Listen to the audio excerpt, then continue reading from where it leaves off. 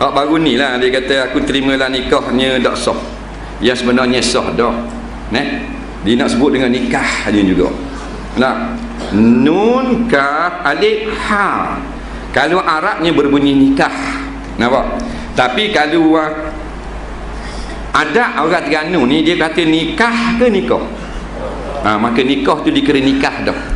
Nampak? Al-adatu muhakkamatun. Apa yang berlaku dalam adat sebenarnya diiktiraf sebagai hukum syarak. Jadi walaupun ejaan dan pronoun yang sebenar nikah, nah, tapi kalau sebut nikah tu lah, hak tu lah cakapan keseluruhan rakyat Terengganu bermakna nikah tu lah. Jadi nikah tu sepatutnya diterima dalam lapang. Jadi setengah Tok Imam tu dia bergalu sikit. Tok mengata, pengantin laki-laki aku terimalah nikahnya. Nah, ha. kalau dari segi hukum syarak sah dah. Ha, tapi dah ni nak bergaluh tak apalah tak ada masalah dah. Jangan jadi balah sudah lah. Ya. Ha, jadi kena ulang balik. Aku terima nikahnya. Jadi baru betul.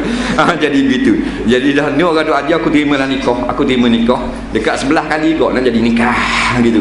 Nampak? Ha, jadi susah lah kau orang. Jadi kalau nak kata gitu sepatutnya sebelum akad nikah tu kata dulu ke pengantin laki-laki. Kek jangan jawab dengan nikah. Jawab dengan nikah. Cik kata kali. Nikah nikah nikah juga ha.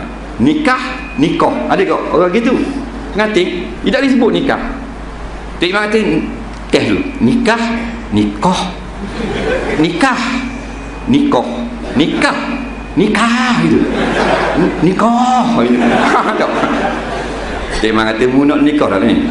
Ada ha, last last. Last.